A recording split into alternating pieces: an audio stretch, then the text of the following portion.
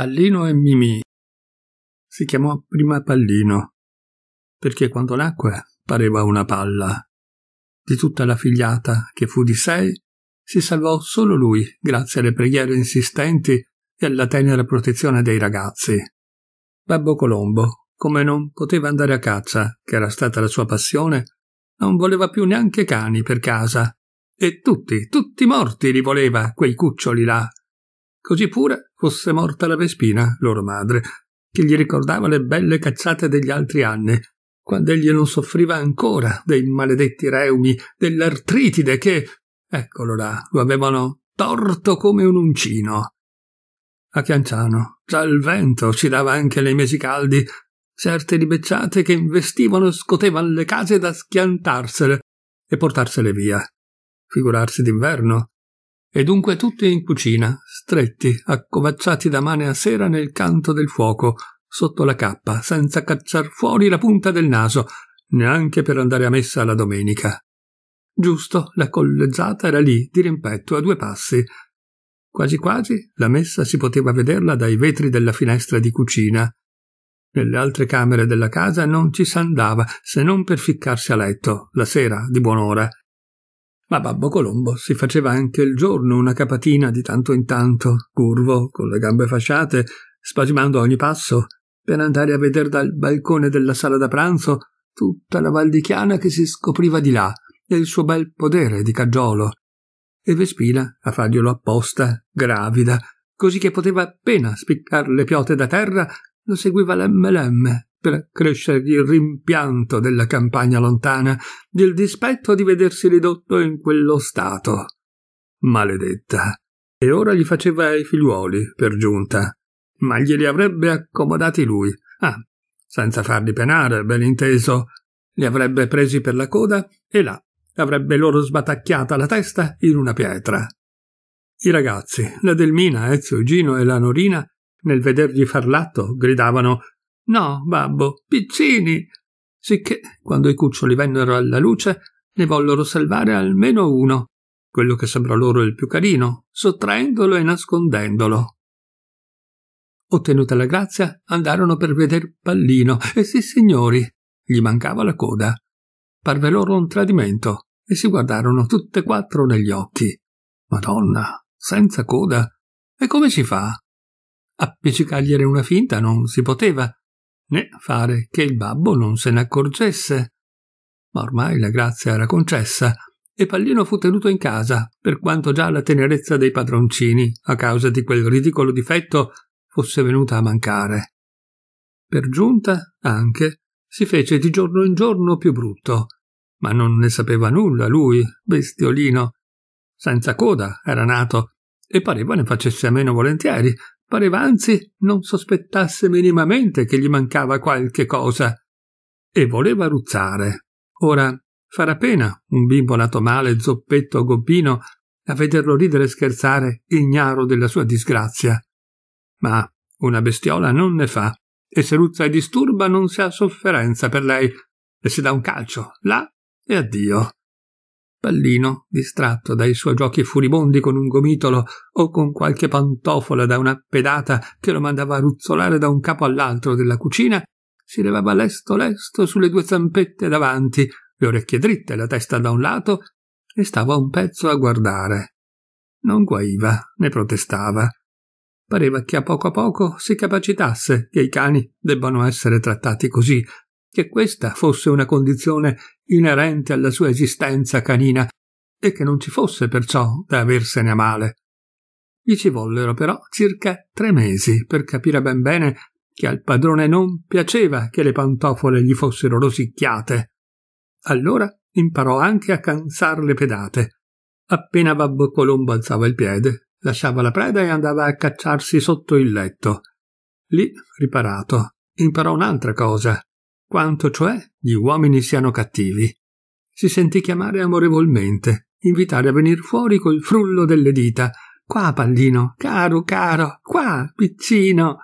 S'aspettava carezze, s'aspettava il perdono, ma appena ghermito per la cuticagna, botte da levare il pelo. Ah sì?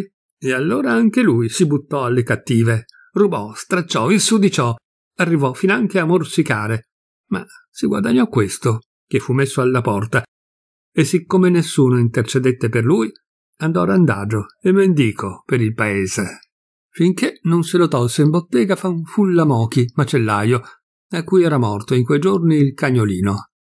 Fanfulla Mochi era un bel tipo, amava le bestie e gli toccava ammazzarle. Non poteva soffrire gli uomini e gli toccava servirli e rispettarli. Avrebbe tenuto in cuor suo dalla parte dei poveri, ma da macellaio non poteva, perché la carne ai poveri, si sa, riesce indigesta. Doveva servire i signori, che non avevano voluto averlo dalla loro. Sicuro, perché era nato signore lui, almeno per metà. Lo desumeva dal fatto che, uscito a sedici anni da nobile ospizio in cui era stato accolto fin dalla nascita, gli eran venuti non sapeva né donde né come né perché seimila lire, residuo d'un rimborso liquidato in contanti. Lo aveva messo Garzone in una macelleria e da che c'era, con quella sommetta, aveva seguitato a fare il macellaio per conto suo, ma il sanguaccio del gran signore se lo sentiva nelle vene torbide, nelle piote gottose, e un cotal fluido pazzesco gli circolava per il corpo, che ora gli dava una noia cupa e amara, ora lo spingeva a certi atti. Per esempio, tre anni fa, radendosi la barba e vedendosi allo specchio più brutto del solito, già invecchiato, infermiccio, s'era lasciato andare una bella rasoiata alla gola, tirata coscienziosamente a regola d'arte. Condotto mezzo morto all'ospedaletto, aveva rassicurato la gente che gli correva dietro spaventata. Non è niente, non è niente, un'incicciatina. Per prima cosa, Fanfulla Mocchi ribattezzò Pallino. Gli impose il nome di Bistecchino, poi lo portò alla finestra e gli disse Vedi là, Bistecchino, il mio bel monte amiata. Grosse le scarpe, ma tu sapessi che cervelli fini ci si fa. Bastardi, ma fini. Se tu vuoi stare con me, deve essere un patto che tu diventi un canino saggio e per bene. T'adotterò io, non temere. Accurati qua.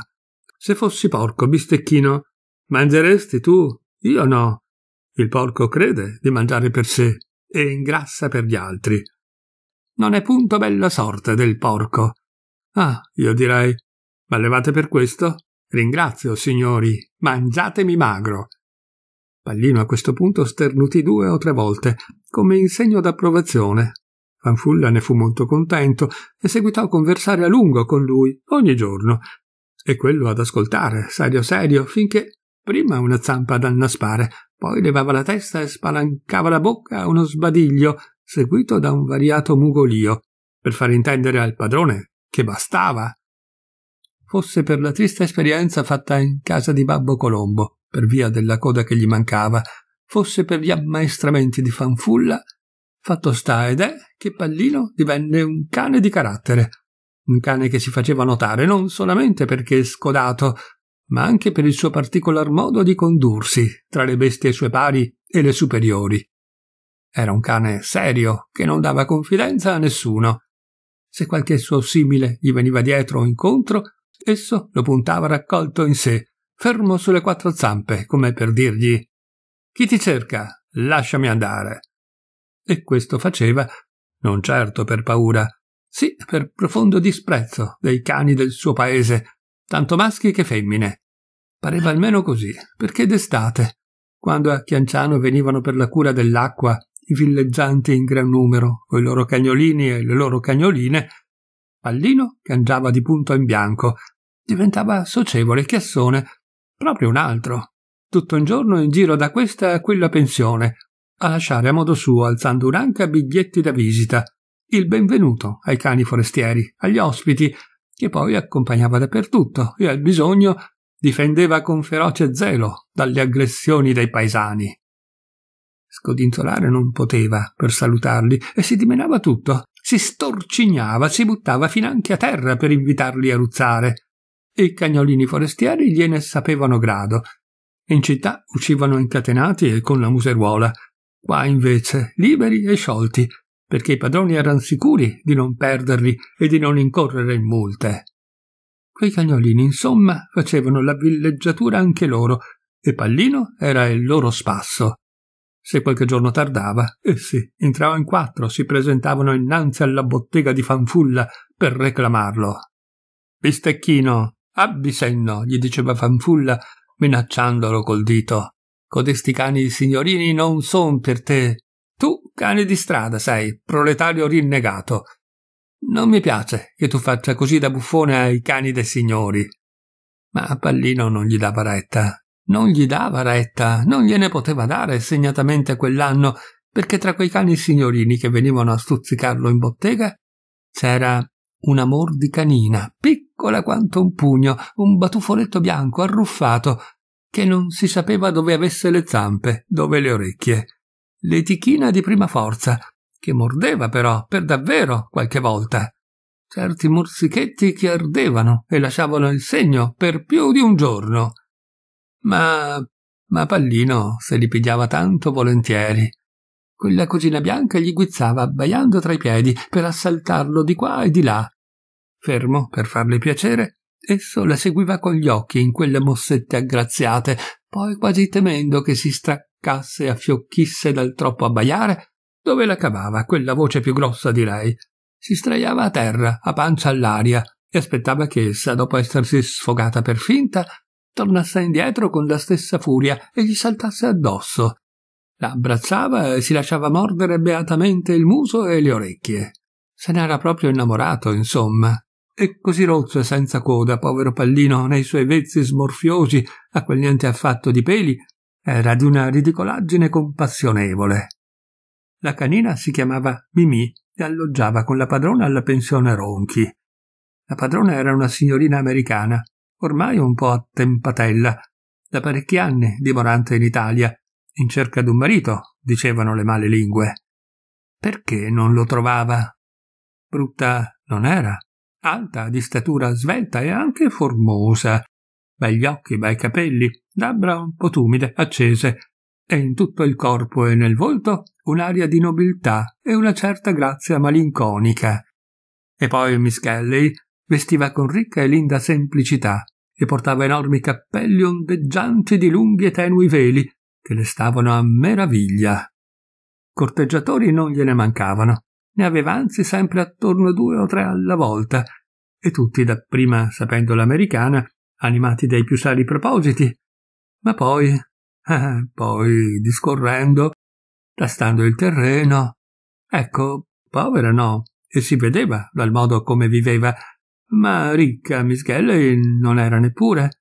E allora, allora, perché era americana? Senza una buona dote, tanto valeva sposare una signorina paesana, e tutti i corteggiatori si ritiravano puntualmente in buon ordine. Miss Kelly se ne rodeva e sfogava il rodio segreto in furiose carezze alla sua piccola, cara, fedele Mimì. Ma fossero state carezze soltanto. La voleva zitella, Miss Galley, sempre zitella, zitella come lei, la sua piccola, cara, fedele Mimì. Oh, avrebbe saputo guardarla lei dalle insidie dei maschiacci. Guai, guai se un canino le si accostava. Subito Miss Kelly se la toglieva in braccio ed era un busse se Mimì, che aveva già cinque anni e non sapeva capacitarsi per qual ragione, rimanendo zitella la padrona, dovesse rimaner zitella anche lei. Si ribellava. Busse si agitava le zampette per respingere a terra, Busse si allungava il collo cacciava il musetto sotto il braccio della sua tiranna per vedere se il canino innamorato la seguisse tuttavia. Per fortuna questa crudele sorveglianza si faceva men rigorosa, ogni qualvolta un nuovo corteggiatore veniva a rinverdir le speranze di Miss Kelley. Se Mimì avesse potuto ragionare e riflettere, alla maggiore o minor libertà di cui godeva, avrebbe potuto argomentare di quanta speranza la nuova avventura desse alimento al cuore inesausto della sua padrona, uccellino dal becco sempre aperto. Ora, quell'estate, a Chianciano, Mimì era liberissima. C'era difatti alla pensione Ronchi un signore, un bell'uomo d'oltre quarant'anni, molto bruno, precocemente canuto, ma coi baffi ancor neri, forse un po' troppo, elegantissimo, il quale, venuto a Chianciano per i quindici giorni della cura, vi si tratteneva da oltre un mese e non accennava ancora ad andarsene, per quanto all'arrivo avesse dichiarato d'avere a Roma urgentissimi affari a cui s'era sottratto a stento e non senza grave rischio. Di che genere fossero questi affari non lo diceva. Aveva molto viaggiato e mostrava di conoscer bene Londra e Parigi ed aver molte aderenze nel mondo giornalistico romano. Sul registro della pensione s'era firmato Commendator Basilio Gori. Fin dal primo giorno s'era messo a parlare in inglese a lungo con Miss Kelly. Ora l'una e l'altra ogni mattina uscivano dalla pensione per tempissimo e si recavano a piedi per il lungo stradale alberato alle terme dell'acqua santa. Miss Kelly non beveva. Diceva d'essere venuta a Chianciano solo per un cambiamento d'aria. Beveva lui. Passeggiavano accanto, loro due soli, per i vialetti del prato, in pendio sotto gli alti platani, bersagliati dalla maligna curiosità di tutti gli altri bagnanti. A lui questa maligna curiosità pareva non dispiacesse punto, e se due o tre si fermavano apposta per godere da vicino e con una certa impertinenza di quello spettacolo d'amor peripatetico, egli volgeva loro uno sguardo freddo, sprezzante, ma con un'aria di vanità soddisfatta. Ella invece abbassava gli occhi per levarli poco dopo in volto a lui a ricevere il compenso di quella tenera, istintiva gratitudine che ogni uomo prova per la donna che, sacrificando un po' del suo pudore, dimostra di voler piacere a uno solo, sfidando la malignità degli altri. Mimì li seguiva e spesso provocava le risa di quanti stavano ad osservare la coppia innamorata, perché di tratto in tratto addentava di dietro la veste della padrona e gliela tirava, gliela scoteva, squassando rabbiosamente la testina come se volesse richiamarla a sé, arrestarla. Skelly, assalita dalla stizza, strappava la veste dai denti della cagnolina e la mandava a ruzzolar lontano sull'erbetta del prato. Ma poco dopo Mimì ritornava all'assalto, non già perché le premesse la buona reputazione della padrona, ma perché a girar lì per quei praticelli scoscesi s'annoiava maledettamente e voleva ritornare in paese dove si sapeva aspettata dal suo pallino. Tira e tira raggiunse finalmente l'intento. Meschele la lasciò con molti avvertimenti alla pensione, adducendo in iscusa che temeva si stancasse troppo la povera bestiolina. Difatti Mischelle e il commentator Gori dopo aver girato per più di un'ora per i viali dell'Acqua Santa, ritornavano sempre a piedi al paese, ma per riprendere poco dopo a vagabondare, o su per la stradina di Montepulciano, o giù per quella che conduce alla stazione, o salivano al poggio dei Cappuccini e non rientravano alla pensione se non all'ora di pranzo. E via facendo, ella con l'ombrellino rosso riparava anche lui dai raggi del sole, e tutti e due andavano mollemente quasi avviluppati in una tenerezza deliziosa, assaporando l'ebrietà squisita delle carezze rattenute, dei contatti fuggevoli delle mani, dei lunghi sguardi appassionati in cui le anime si allacciano, si stringono fino a spasimar di voluttà. Intanto i vetturini, che non li potevano soffrire perché li vedevano andar sempre a piedi, si facevano venir la tosse ogni qualvolta li incontravano per la strada e quella tosse faceva ridere i signori che traballavano nelle vetturette sgangherate. A Chianciano ormai non si parlava d'altro. In tutte le pensioni, al circolo, al caffè, in farmacia, al gioco del pallone, all'arena, Meschelli e il commendator Gori facevano da mane a sera le spese di quella conversazione. Chi li aveva incontrati qua e chi là, e lui era messo così e lei era messa cosà. Quelli che finita la cura partivano ragguagliavano i nuovi arrivati e dopo quattro o cinque giorni domandavano ancora, da lontano, nelle cartoline illustrate, notizie della coppia felice. Tutto un tratto, si era ormai ai primi di settembre, si sparse per Chianciano la notizia che il commentator Gori partiva per Roma, all'improvviso, lui solo.